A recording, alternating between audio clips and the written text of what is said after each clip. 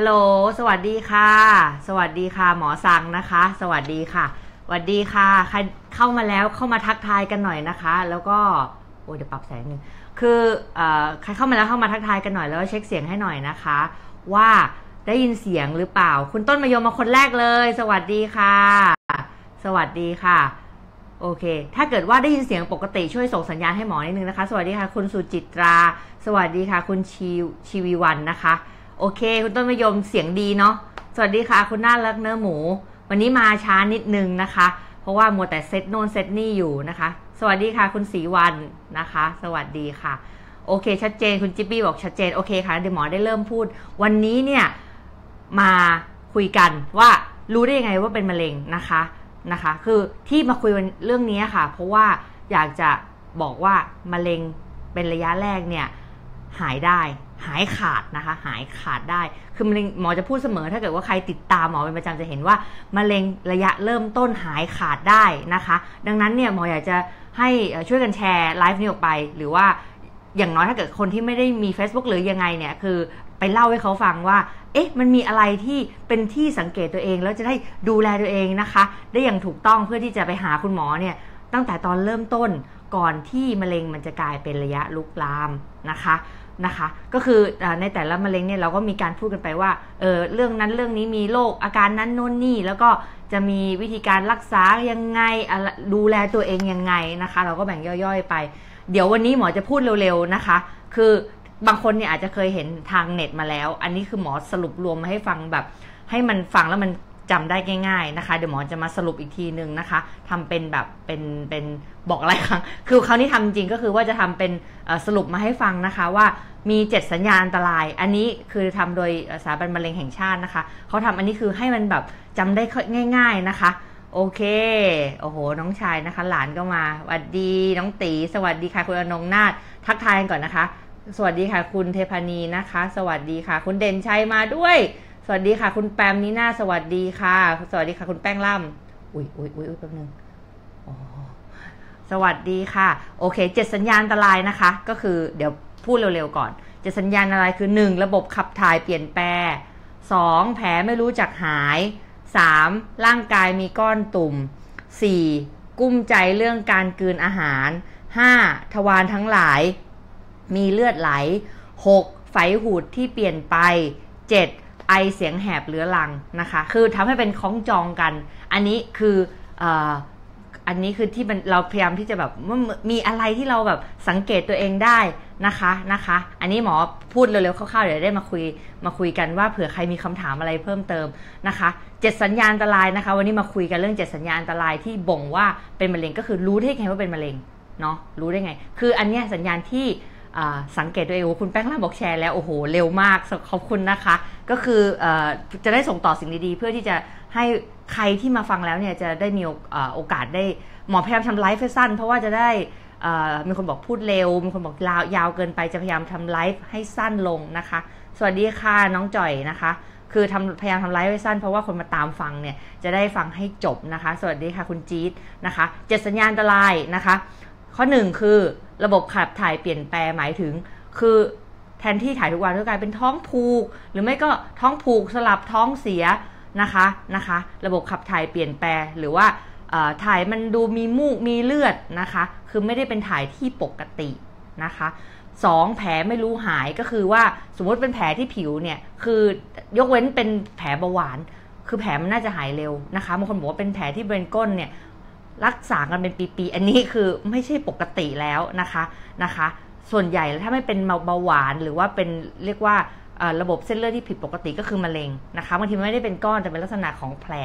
ที่ไม่หายนะคะบางคนอ๋อใช่อย่างเช่นมะเร็งเต้านมบางคนเนี่ยบอกว่าเป็นแผลที่หัวนม แล้วเป็นเป็นหายหายเป็นมาเป็นปีๆไม่มีก้อนอะไร คิดว่าไม่เป็นอะไร คืออันนี้ก็เป็นสัญญาณหนึ่งที่บอกว่าเป็นมะเร็งเต้านมนะคะ ชนิด หนึ่งได้นะคะ คือมะเร็งมันมีหลายอย่างที่คือมะเร็งเต้านมเรียกว่า อย่างเช่นพัดเจ็ดดิซีสเนี่ยก็คือชื่อไม่ต้องสนใจมากแต่คือ มันเป็นมะเร็งเต้านมชนิดหนึ่งเนี่ยคือมันจะมีไม่ไม่มีก้อนอะไรแต่ว่า หัวนมนี่เป็นแผลมันเป็นหายหาย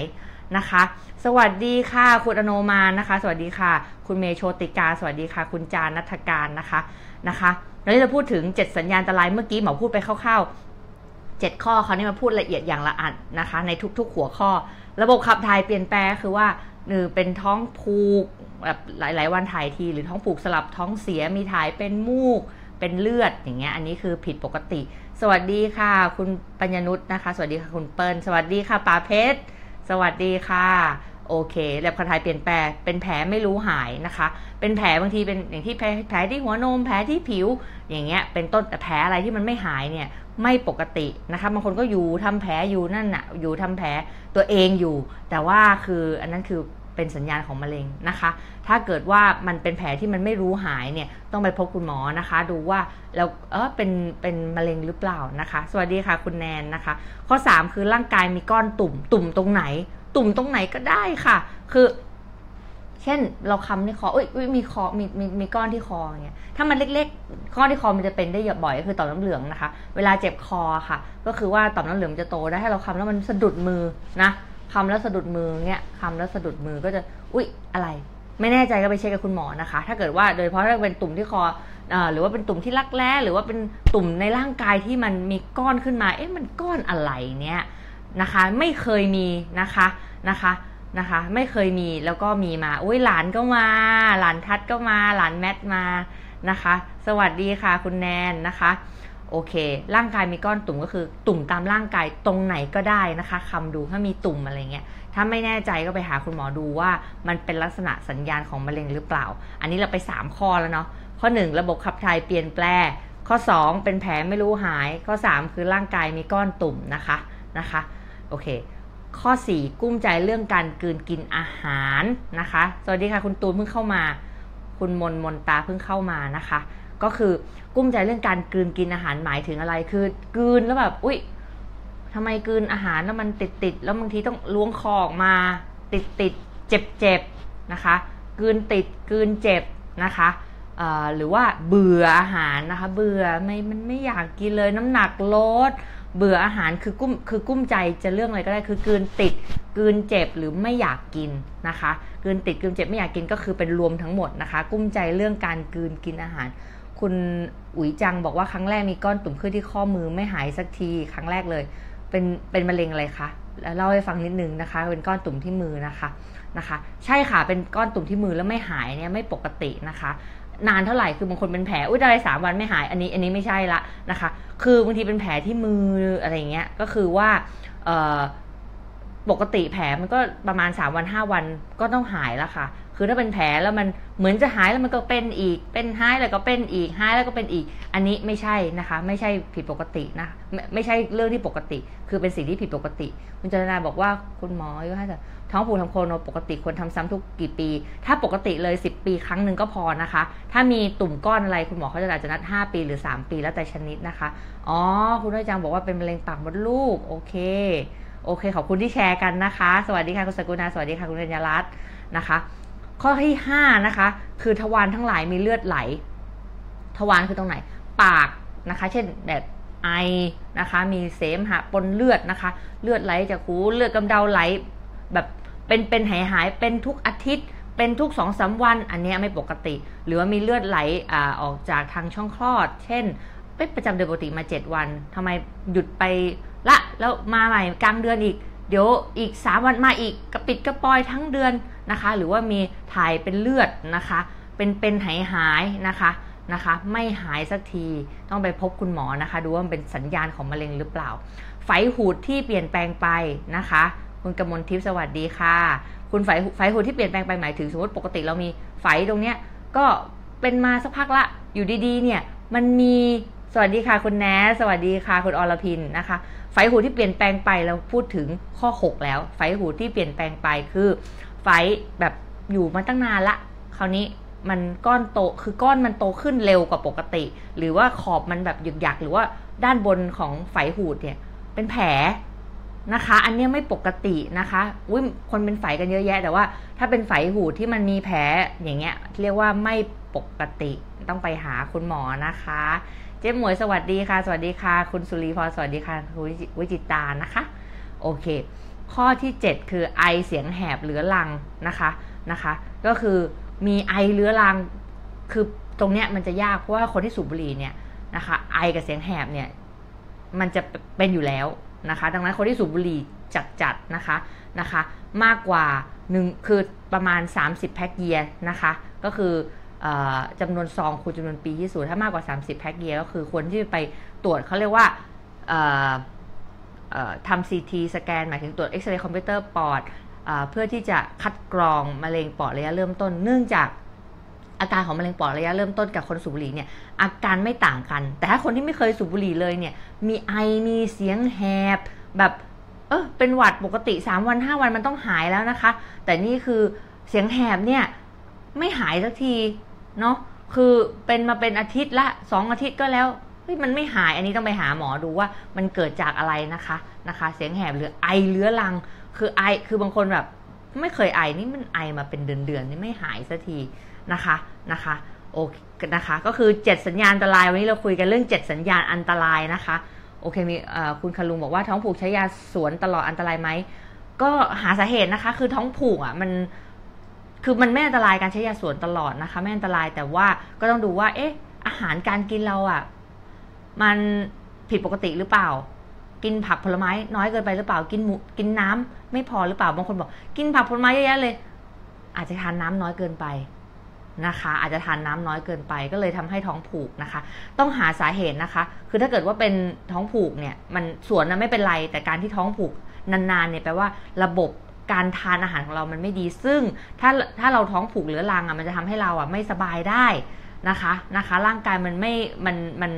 ยกเว้นแต่บางคนเป็นตั้งแต่เกิดแล้วว่าแบบ สองวันถ่ายทีแล้วไม่มีอาการอึดอัดอะไรสองสามวันถ่ายที ซึ่งเป็นปกติเข้ามาตั้งแต่เด็กเนี่ย อันนี้ไม่เป็นไรแสดงว่าเป็นลักษณะของปกติ แต่บางคนถ่ายทุกวันนะคะ แล้วเมื่อเมื่อเมื่อก่อนถ่ายทุกวัน พอหลังๆพอทำงานกินอาหารไม่ตรงเวลากินแต่อาหารที่จากแบบทำเป็นอาหารอาหารอุ่นไมโครเวฟอย่างเงี้ยผักผลไม้ไม่ค่อยได้กินอย่างเงี้ยค่ะ กลายเป็นแบบ4ีหวันถ่ายที 3 วันถ่ายทีท้องผูกอึดอัด อันนี้ไม่ปกติคือ เเวลาระบบขับถ่ายไม่ปกติเนี่ยร่างกายมันไม่แข็งแรงเหมือนปกติ เพราะว่าร่างกายเป็นด่านสำคัญในการที่จะปกป้องนะคะนะคะ ปกป้องร่างกายจากเชื้อโรคแล้วก็รวมถึงมะเร็งด้วยนะคะ 7 อย่างที่เอ่ยมามีทั้งหมด 5 ข้อโอ้โหคุณปุกกี้คือเอ่อต้องคือคืออาจจะถ้าเป็นนิดๆหน่อยเช่นเป็นแผลอยู่เนาะแล้วเราไปแกะมันมันอาจจะไม่หายอะไรเงี้ยค่ะ เป็นห้าเป็นห้าข้อเลยเหรอคะ คือคือเอ่อเอาใหม่เดี๋ยวหมอจะทวนนะคะ หมอจะทวน ถ้าเกิดว่าไม่แน่ใจไปพบแพทย์นะคะ คือโอ้โหมีห้าในเจ็ดอันนี้ก็ต้องต้องต้องหาสาเหตุแล้วล่ะค่ะ ว่ายังไงนะคะเจ็ดสัญญาณอันตรายวันนี้คุยกันเรื่องเจ็ดสัญญาณอันตรายที่เป็นเรื่องของมะเร็งนะคะวรพิมพ์บอกว่ามีคนสูงอายุไอไม่เยอะไอตลอดต้องไปตรวจไหมคะ ไม่ได้สูบบุหรี่ โอ้โห ไอตลอดคือน่าจะตรวจนะคะ คือบางคนเนี่ยเป็นเรื่องของหอบหืดหรือว่าถุงลมไวถุงลมโป่งพอง หรือว่าไวกว่าปกติส่วนใหญ่หอบหืดนะคะที่มีหรือภูมิแพ้อากาศที่ทำให้ไอเรื้อรัง แต่ยังไงเนี่ยถ้าไอด้วยร่วมกับมีเสมหะเยอะมีเลือดปนอันนี้ไม่ปกตินะคะ ควรที่จะไปตรวจนะคะกินอาอุ่นไม่ครเวฟบ่อยๆมันกลายเป็นมะเร็งไหม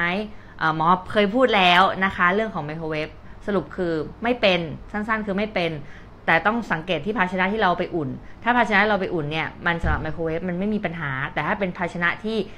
เป็นพลาสติกที่ไม่ได้ผ่าที่แบบเรียกว่าผ่านมาตรฐานไมโครเวฟเนี่ย มันจะทำให้มีสารพิษออกมาได้นะคะ ซึ่งไม่ควรใช้นะคะ โอเค โอ้คุณจิบบี้ ไม่เป็นไรค่ะ ถ้าคุณแม่รู้แล้วตอนนี้รักษาก็ยังได้นะคะ มาทันข้อของคุณกัญญารัตน์โอเคค่ะ ฟังทวนนะคะ คุณพอยมาบอกรอฟังทวนข้อ 7 7 ข้อนะคะ 7 สัญญาณอันตรายที่บอกว่าอาจจะเป็นมะเร็งนะคะ สวัสดีอาซังนะคะ ระบบขับถ่ายเปลี่ยนแปลนะคะ เป็นแผลไม่รู้หาย ร่างกายมีก้อนตุ่มนะสามข้อ ข้อ 4 กุ้มใจเรื่องการกืนอาหาร ข้อ 5 ทวารทั้งหลายมีเลือดไหล ข้อ 6ไฟหูดที่เปลี่ยนไป ข้อ 7 ไอเสียงแหบเรื้อรัง โอเค วันนี้พูดช้าดี รู้สึกดีใจ โอเค เดี๋ยวเราจะพูดก่อน เราจะทวนกันซ้ำๆนะคะ จะได้จำได้หรือว่ามีอะไร เอ๊ะ จะถามคุณหมอพอดีเลย อะไรเงี้ยคุณแม่อายุหกสามมีการท้องเสียเรื้อรัง หมอว่าเป็นลำไส้แปรปรวน ไม่เคยส่องกล้อง ถ่ายมีมูกเลือดปน เออก็ถ้าเกิดว่าอายุเกินห้าสิบก็ ก็น่าจะส่องกล้องสักครั้งนะคะ นะคะ โอเค คุณแปมบอกว่ามีก้อนที่หน้าขาคำเจอแล้วค่ะ โอ้โหคำเจอเลย ไม่เคยสังเกตตัวเองมาก่อนใช่ไหมพอหมอพูดมีเอ้ยมีก้อนด้วยเออเนาะคือถ้าไม่แน่ใจไปหาคุณหมอให้ตรวจดูนะคะ คือถ้าเป็นก้อนตามตัวบางทีมันเป็นตั้งนานเราไม่เคยสังเกตนะคะคุณพิมพ์บอกเป็นก้อน คือหมอไม่ได้แต่งเองนะคะ คือว่ามีคนแต่งมาแล้วก็หมอว่าหมอรู้สึกว่าฟังแล้วมันแบบลื่นหูดีนะคะนะคะ ฟังแล้วมันลื่นหูดี คุณแม่เป็นมะเร็งปอดลามไปรู้มอร์ฟีนแล้วมีอ้วกปวดหัวผลข้างเคียงจากทานยาอาการไม่อยากอาหารอ้วกคือต้องดูค่ะคือว่าถ้าเกิดว่าไม่อยากทานอาหารอ้วกปวดศีรษะเนี่ยคงต้องดูว่าในสมองเนี่ยมีอะไรหรือเปล่านะคะ ว่ามันกระจายไปที่สมองหรือเปล่า โดยธรรมดาเนี่ยผลข้างเคียงจากการทานยาเป็นได้ค่ะ แต่ต้องดูว่าในก่อนอื่นเราต้องดูว่าในสมองมีอะไรหรือเปล่าที่ผิดปกตินะคะ ถุงใส่แกงร้อนๆเป็นอะไรหรือเปล่า คือถุงโดยทำเขาทำมาสำหรับการนี้ไม่มีปัญหานะคะ ไม่มีปัญหาไม่มีปัญหาไม่เป็นอันตรายค่ะ หรือว่าไอ้ที่อภัยชาชนะนะคะ ที่ใส่สำหรับแบบสำหรับไมโครเวฟได้ใส่ของร้อนได้อันนี้ไม่มีปัญหา แต่คือประเด็นคือบางทีภาชนะเราไปใส่ของเย็น หรือว่าเขาไม่ได้ออกแบบเพื่อสิ่งนั้นเราไปใส่แทนนะคะ เพราะว่าเราแบบไม่ได้ดูละเอียดเพียงพอเลยมันทำให้มีสารพิษจากในพลาสติกนี้ออกมาได้นะคะ เดี๋ยวดูก่อนคำถาม คนเป็นมะเร็งเต้านมนวดตัวได้ไหมได้ค่ะ ถ่ายเกินสามสี่ครั้งอันตรายไหมอ๋อ ถ้าถ่ายปกตินะคะ คือว่ามันเป็นก้อนดีนะคะ อาจจะนิ่มๆอย่างเงี้ยไม่ไม่เป็นไรบางคนกินแล้วถ่ายเลยไม่ไม่ไม่ไม่ผิดปกติคือปกติดี กินแล้วถ่ายเลยปกตินะคะ มีก้อนจะไขมันอักเสบ ไปหารักษายุบมันกลายเป็นมะเร็งไหมไม่ค่ะไม่ค่ะ ไม่เกี่ยวกันนะคะ ก้อนไขมันอักเสบเป็นได้บ่อยนะคะ ไม่ไม่กลายมะเร็งนะคะ เป็นมันต้องกินน้ำมะพร้าวสกัดเย็นได้ไหมคือน้ำมะพร้าวที่เขากลัวกันก็คือว่าเรื่องของว่ามันมีฮอร์โมนเรียกว่าไฟโตเอสโตรเจนนะคะ กินได้ถ้าไม่ได้กินเยอะกินได้ค่ะ ไม่เคยส่องกล้องอาปาร์ตเป็นไส้กลัวโอ้อย่างนี้เนี่ยก็จริง ๆ ถ้าเกิดว่าป้าเป็นอายุเท่าไหร่น้ำพึ่งลองไปลองลองดูว่าสมมติป้าเป็นตอนอายุห้าสิบน้ำพึ่งสี่สิบไปตรวจถ้าป้าเป็นตอนสี่สิบตอนนี้ก็ควรไปตรวจแล้ว นะคะควรส่องกล้องสักครั้งหนึ่งเนาะป่าเพชรบอกเป็นระยะเริ่มต้นเต้านมไม่ให้เคมูทันยาต้ามา 5 ปี ใช่ค่ะ ครอบคลุมทั้งร่างกายค่ะป่าเพชรนะคะนะคะนะคะ โอเคนะคะ ใครที่ทันเดี๋ยวหมอพูดคร่าวๆอีก 7 ข้อเร็วๆ อีกครั้งหนึ่งแล้วเดี๋ยวเราจะบอกว่ามีอะไรที่เราควรทำนะคะ เพื่อที่ป้องกันมีกรอนอีกบทหนึ่งนะคะเจ็ดเจ็ดสัญญาณอันตรายของมะเร็งนะคะ ระบบขับถ่ายเปลี่ยนแปลงหมายถึงท้องผูกท้องเสียถ่ายเป็นมูกเป็นเลือด นะคะ ปวดท้องอย่างนี้เป็นต้น เป็นแผลไม่รู้จักหายนะคะ สวัสดีค่ะพี่เอ สวัสดีค่ะคุณจันทนานะคะ สวัสดีค่ะคุณนิพาพันธ์ เป็นแผลไม่รู้จักหายคือเป็นต้องเป็นปีๆหรือว่าหลายอาทิตย์เป็นแล้วเหมือนจะหายแล้วก็เป็นอีกที่เดิมนะคะ อันนี้ไม่ไม่ปกติต้องไปหาคุณหมอนะคะ ระบบขับถ่ายเปลี่ยนแปลงเป็นแผลไม่รู้จักหาย ร่างกายมีก้อนตุ่มนะคะ คือคำแล้วมีก้อนแล้ว ถ้าก้อนแบบอาทิตย์หนึ่งยุบไปนี่ไม่เป็นไรไม่เป็นมะเร็ง แต่ถ้าเกิดว่าเป็นอยู่นั่นน่ะนะคะ คือเอ๊ะมันโตขึ้นด้วยอันเนี้ยไปหาคุณหมอเลยนะคะ กุ้มใจเรื่องการกืนอาหารหมายถึงกืนติดกืนเจ็บ หรือว่าเบื่ออาหารไม่อยากกินนะคะโอเคคุณอาเป็นว่าหน้าท้องเป็นก้อนแข็งใหญ่สองก้อนไปตรวจไหมคะ หรือว่าเป็นก้อนไขมันโอ้ถ้าไม่แน่ใจไปตรวจดีกว่าค่ะนะคะ โอ้พี่เอสวัสดีค่ะนะคะ ถ้าไม่แน่ใจไปตรวจนะคะ เพราะว่า ก้อนเนี่ยคือก้อนในรอท้องบางทีมาด้วยเหมือนกับเป็นคนอ้วนอย่างเงี้ย แต่จริงๆคือมันเป็นก้อนเพราะเราอะไม่ได้อยู่ในไม่ได้เคยแบบอยู่ในวงการแพทย์ก็เลยทำให้ เราอาจจะไม่รู้ว่าเนี่ยมันคือก้อนก้อนกับไขมันบางทีเราแยกกันไม่ออกนะคะ ไม่แน่ใจไปหาคุณหมอนะคะ ให้คุณหมอดูนะคะ โอเค ทวารข้อ5นะคะ ทวารทั้งหลายมีเลือดไหล คือไอเป็นเลือดมีเลือดกำเดาไหลบ่อยมีถ่ายเป็นเลือด มีเลือดออก ที่มันไม่ใช่ประจำเดือนนะคะ ไปตรวจนะคะ ไฝหูที่เปลี่ยนแปลงไปคือว่าก้อนมันใหญ่ขึ้นสีผิดปกติขอบเปลี่ยนแปลงไปมีแผลอันเนี้ยนะคะ ก็คือเป็นสัญญาณของมะเร็งได้นะคะ แล้วก็ข้อสุดท้ายคือไอเสียงแหบเรื้อรังนะคะ ไอเสียงแหบเรื้อรังนะคะ ก็คือ ถ้าเสียงแหบจากหวัดเนี่ยประมาณ3 5 3ถึง5วันน่าจะดีขึ้นนะคะ ถ้า 2 3 อาทิตย์ไม่ดีขึ้นเนี่ยต้องไปหาคุณหมอตรวจเลยนะคะ ยิ่งถ้าลงกับน้ำหนักลดมีไอด้วยเนี่ยคงต้องรีบไปตรวจนะคะ คุณจ๋าบอกเป็นระยะที่หนึ่งเคโมสี่ให้แสงสามสิบมีโอกาสกลับมาเป็นไหมก็ถ้ารักษาครบโอกาสกลับมาเป็นน้อยค่ะระยะที่1นนะคะ90กว่าเปอร์เซ็นต์หายขาดนะคะ หายขาดได้ แต่ติดตามเป็นประจำนะคะนะคะ โอเคเจ็ดสัญญาณอันตราย เดี๋ยวเราพูดตอนท้ายอีกทีตอนก่อนจบ 5ทำออกกำลังกายเป็นนิดทำจิตแจ่มใส กินผักผลไม้ อาหารหลากหลาย แล้วก็ตรวจร่างกายเป็นประจำ5ข้อข้อหนึ่งออกร่างกายเป็นนิดนะคะทำจิตแจ่มใสนะคะ ข้อ2ข้อ3กินผักผลไม้เป็นประจำข้อ4กินอาหารหลากหลาย ข้อ5คือตรวจร่างกายเป็นประจำนะคะ คนอย่าลืมข้อ5ก็คือว่าเรื่องของตรวจร่างกายเป็นประจำนะคะ คุณกัญญรัตน์ถามนะคะแป๊บหนึ่งเดี๋ยวหมอขออ่านคำถามนิดนึงนะคะก็คือถ้าเรื่องของอาหารถ้าเกิดว่าเริ่มเบื่ออาหารเนี่ย อาหารที่ทานได้ง่ายคืออาหารจะพวกน้ำนะคะ เช่น พวกเอนชัวโปรชัวเงี้ยค่ะ ซึ่งหาซื้อได้ตามซูเปอร์มาร์เก็ตเช่น Tops อะไรเงี้ยค่ะ หรือว่าเป็นยี่ห้ออื่นที่คุณพ่อทานได้นะคะนะคะ คือทานนม นมที่หมอกล่าวถึงคือ Ensure Prosure จริง ๆ มีอีกหลายยี่ห้อกูซาน่าอะไรพวกนี้ค่ะ กินอะไรก็ได้ที่คุณพ่อทานได้นะคะ ตรงนี้มันจะดูดซึมง่ายย่อยง่ายกว่าอาหารที่ทานนะคะ เพราะว่าอาหารถ้าเป็นอาหารปกติเราต้องมีการเคี้ยวการกลืนนะคะ แล้วก็พลังงานมันไม่เยอะ แต่แต่ว่าถ้าเป็นอาหารทางการแพทย์เนี่ยที่เป็นกระป๋องซึ่งขายตามซูเปอร์มาร์เก็ตอะแล้วก็ร้านขายยาเยอะแยะเลยนะคะ สามารถไปซื้อได้นะคะ แล้วก็กินแทนอาหารได้ค่ะอ๋อเป็นนักเป็นซิส ตขึ้นช่วงประจำเดือน เล็กลงไม่มีแผล กดแล้วขึ้นที่ได้มีโอกาสอ๋อ ถ้าเป็นซีดนะคะ ไม่เป็นไรค่ะ ไม่เป็นไร ถ้าเกิดตรวจแล้วเป็นซีดนะคะ แล้วก็สัมพันธ์กับประจำเดือนนะคะนะคะ ไม่เป็นไรไม่เป็นไรนะคะนะคะ ทานยาต้านไขลินจือไหมถ้าทานยาต้านอยู่หรือทานเคมหรือให้เคมอยู่เนี่ยคือหมอแนะนำว่า ไอสารสกัดทั้งหลายเนี่ยรวมถึงเห็ดลิ้นจือหรือว่าเห็ดทั้งหลายที่มันเป็นสารสกัดเป็นเม็ดๆเนี่ยหลีกเลี่ยงก่อนเนื่องจากเราไม่รู้ว่ายามันจะแบบมีเขาภาษาไทยง่ายคือมันจะตีกันหรือเปล่านะคะมันอาจจะทำให้ส่งผลทำให้มียาต้านที่เรากินอยู่มันประสิทธิภาพลดลง สวัสดีค่ะพี่แนน สวัสดีค่ะคุณสมทรงนะคะ น้องชาย โอเคอก็คือพยายามให้ทานอาหารนะคะ คุณวรละวรันนะคะ พยายามให้ทานอาหารนะคะ คือสิ่งที่เราทำได้คือทำให้ให้น้องชายมีใจที่สู้นะคะพยายามพยายามอย่าเครียดแล้วก็นอนพักผ่อนได้เพียงพอทานอาหารเท่าที่ทานได้ โดยเฉพาะถ้าทานอาหารไม่ได้เลยเนี่ยอาจจะทานพวกอาหารทางการแพทย์เช่นพวก Ensure Prosure ซึ่งสามารถหาซื้อได้ตามซูเปอร์มาร์เก็ต Tops ก็มีนะคะนะคะทานยาต้านมีเวียนหัวนิดหน่อยใช่ผลข้างเคียงไหมใช่ค่ะ ใช่ค่ะ ใช่ค่ะ สวัสดีพี่เอส น่ารักที่สุด สวัสดีค่ะพี่แนน สวัสดีทีนึงสวัสดีค่ะคุณพัฒพร อ๋อ ขอบคุณค่ะ ยินดีค่ะนะคะ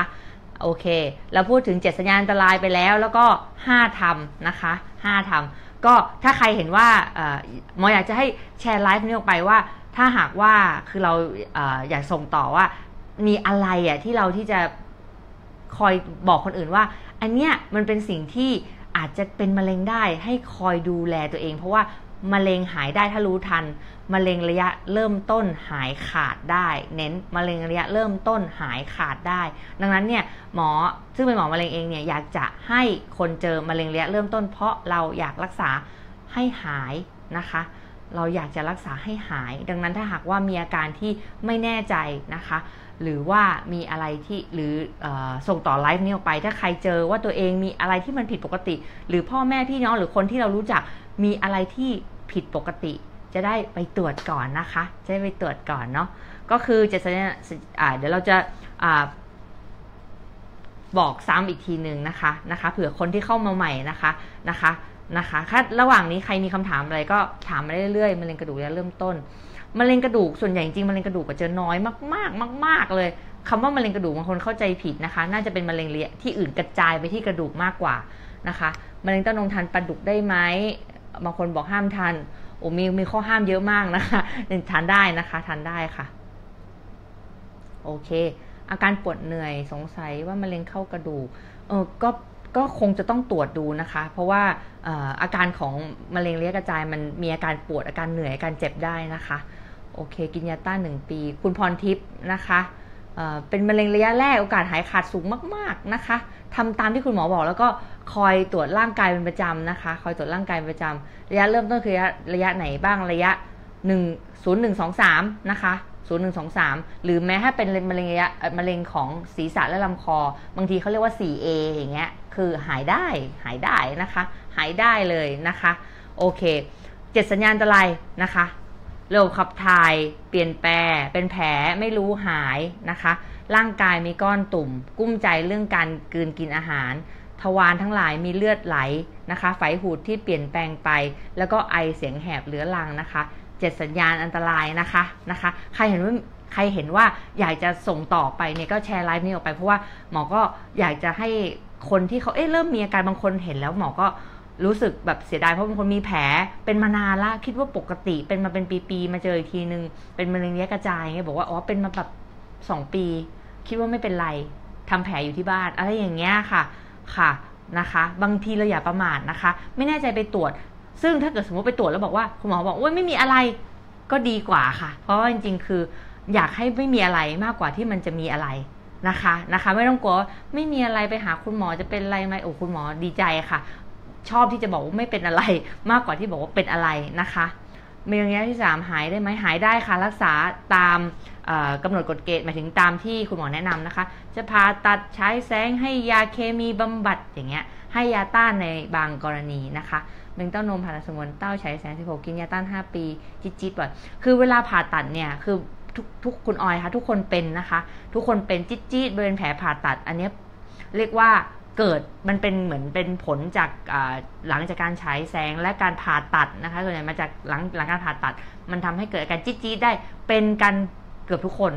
ทุกคนเลยก็ว่าได้เป็นกันทุกคนค่ะนะคะจิ๊ดจี๊ดนิดหน่อยมันเหมือนเราเป็นแผลเป็นอะถ้าเรามีแผลเป็นไหนใหญ่ ๆนะคะ เราก็เจ็บได้นะคะ พี่นิดสวัสดีค่ะ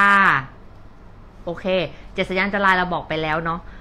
ห้าทำออกกำลังกายเป็นนิดนะคะทำจิตแจ่มใส กินผักผลไม้ กินอาหารหลากหลาย แล้วก็ตรวจร่างกายเป็นประจำเนาะโอเคนะคะ ที่สำคัญอย่าลืมข้อสุดท้ายตรวจร่างกายเป็นประจำโดยเฉพาะถ้าหากว่ามีเจ็ดสัญญาณอันตรายที่บอกไปตั้งแต่ตอนแรก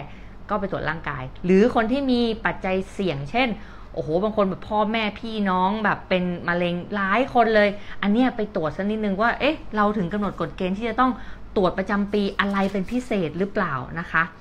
ยาเคโมประเภทกินทำให้เป็นแผลในกระเพาะไหมเอ่อไม่ค่อยนะคะ ไม่ไม่ไม่ไม่ค่อยไม่ค่อยเกี่ยวนะคะนะคะ ไม่เกี่ยว อาการปวดท้องอาจจะต้องดูว่ามันเกิดจากอะไรนะคะนะคะบางคนเป็นแผลในกระเพาะนะคะ เกิดจากการที่อาจจะทานอาหารไม่ค่อยได้นะคะ ที่ยายาเคโมไปกัดกระเพาะไม่ค่อยมีนะคะนะคะ แต่ปวดได้ไหมปวดท้องได้นะคะ ปวดท้องได้ มียาต้านความดัน อ๋อ ไม่ ยาต้านกับยาความดันเนี่ยทานร่วมกันได้ไม่มีปัญหานะคะทานทานทานด้วยกันได้ ไม่ต้องห่างค่ะ ไม่ต้องห่างกินพร้อมกันก็ได้เลยนะคะ โอเค คุณกิติมาสวัสดีค่ะ สวัสดีค่ะ ดีใจนะคะ โอเค วันนี้เราก็คุยกันนะคะ อ่าเป็นไลฟ์ที่ไม่ได้ยาวเป็นไลฟ์สั้น ๆนะคะ บอกว่าเพราะมีคนบอกว่าพูดเร็วเกินไป เป็นไลฟ์ที่ยาวเกินไปมาตามดูไม่ได้ โอ้มีคนดูร้อยคนแล้ว ดีใจจังเลยเลขสวยมากเลยค่ะ นะคะ เลขสวย โอเค โอเค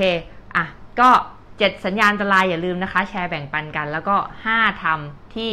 จะไม่ห้าทำคือป้องกันมะเร็งนะคะ คือออกกำลังกายออกกำลังกายเป็นนิดทำจิตแจ่มใสทำจิตแจ่มใส ทานผักผลไม้นะคะ ทานผักผลไม้ ทานอาหารหลากหลาย ตรวจร่างกายเป็นประจำแค่นี้เองห้าทำนะคะห้าทำนะคะ มีคนถาม ยาหนึ่งมีผดขึ้นที่แขนยิบยิบเวลาโดนเหงื่ออตอนอยู่ช่วงเฝ้าระวัง 3 เดือนไม่น่ามีอะไรนะคะจะเป็นแพ้มากกว่า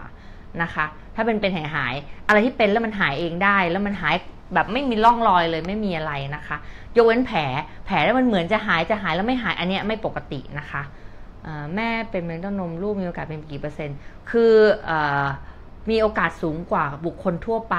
นะคะ ถ้าเกิดว่าแม่เป็นมะเร็งเต้านมลูกมีโอกาส เป็นมะเร็งเต้านมสูงกว่าบุคคลทั่วไปไม่เยอะนะคะ ไม่เยอะนะคะะแต่ก็ควรที่จะให้ลูกเนี่ยไปตรวจเมื่อถึงอายุนะคะถ้าคือถ้าคอยตรวจตัวเองเป็นประจำถ้าหากว่าลูกมีอาการที่มีก้อนหรืออะไรที่ไม่แน่ใจไปหาคุณหมอตรวจหรือถ้าถึงอายุ 40 ก็ไปทำแมมโมแกรมค่ะ ให้เคมีทานยาไขมันได้ไหมได้ค่ะ โอเค ยินดีค่ะคุณจ๋า ลุ้นคุณพ่อมีก้อนแข็งที่คอน่าจะเข้าต่อมน่าจะต่อมน้ำเหลือง ถ้าต่อมน้ำเหลืองที่คอไม่ได้ใหญ่มากไม่เป็นไรค่ะ แชร์แล้วโอ้โหน่ารักมาก ๆ เลย ตั้งแต่ให้เคโมไม่มีประจำเดือนไม่ได้ทานยาคุมโอกาสท้องมีไหมแล้วแต่อายุค่ะนะ แล้วแต่อายุบางคนเนี่ย ไม่มีประจำเดือนเลยอยู่ดีท้อง คือถ้าเกิดทานยาต้านอยู่อาจจะต้องคุมกำเนิดนะคะ ถ้าเกิดยิ่งอายุแบบ 30 กว่าๆเพราะบางทีเนี่ย มีลักษณะไข่ตกที่เราไม่ไม่ได้ออกมาเป็นลักษณะประจำเดือนคือมันท้องต่อเลยนะคะโอ้ขอให้ไม่เป็นมะเร็งนะคะ คุณแป้งล่ามขอให้ไม่เป็นมะเร็งนะคะกลับมาเป็นเดือนสองสามเดือนหลายปี เป็นได้ค่ะ คือมันหลายอย่างค่ะ คือว่าแล้วแต่ว่าหนึ่งคือมะเร็งของเขาอะมันเป็นชนิดดุไหมเขารักษาครบไหมแล้วก็เขาดูแลตัวเองเป็นยังไงนะคะนะคะ หลายเหตุหลายปัจจัยมากเลยที่มะเร็งกลับมาเป็นซ้ำนะคะ เป็นมะเร็งเต้านมกินเนื้อได้ไหมเนื้อแดงเนื้อแดงก็คือว่า กลุ่มสัตว์ใหญ่นะคะ เช่นเนื้อหมูเนื้อวัวเนื้อแพะเนื้ออะไรที่มันตอนสุกมันไม่แดง เนื้ออะไรที่ตอนดิบมันเป็นสีแดงเนี่ยควรกินคือกินได้แต่กินไม่เยอะนะคะนะคะ กินไม่เยอะนะคะนะคะ เช่นอาทิตย์หนึ่งห้าร้อยกรัมครึ่งกิโลนะคะ กินได้นะคะปฏิบัติโอ้คุณมาออนบอกว่าปฏิบัติทำได้ทุกข้อเลยสุดยอดค่ะคุณกรบอกแชร์แล้วเยี่ยมค่ะโอเคค่ะ ก็มาไลฟ์กันสั้นๆนะคะ โอ้โห หัวใจมาเพียบเลย มะเร็งท่อน้ำนมเกิดจากอะไร คือจริงๆเนี่ยมะเร็งเต้านมคือมะเร็งดักเต้าคาสิโนมาคือมันร้อยละ 90 กว่าเปอร์เซ็นต์มันเกิดจากท่อน้ำนมนี่แหละค่ะมะเร็งเต้านมคือมะเร็งของท่อน้ำนมในเต้านมนะคะนะคะ ก็คือเกิดจากหลายอย่างค่ะนะคะ ลองไปฟังที่ไลฟ์ที่หมอพูดถึงนะคะ สาเหตุส่วนหนึ่งก็คือน้ำหนักที่เกินนะคะ น้ำหนักที่เกินนะคะ หรืออบางคนก็เกิดขึ้นเองนะคือมันหลายอย่างค่ะ คือว่าการที่เกิดมะเร็งเนี่ยหนึ่งคือเราอาจจะ บางคนสูบบุหรี่บางคนดื่มเหล้าไม่ออกกำลังกาย ความเครียดสะสม นอนพักผ่อนไม่เพียงพอนะคะ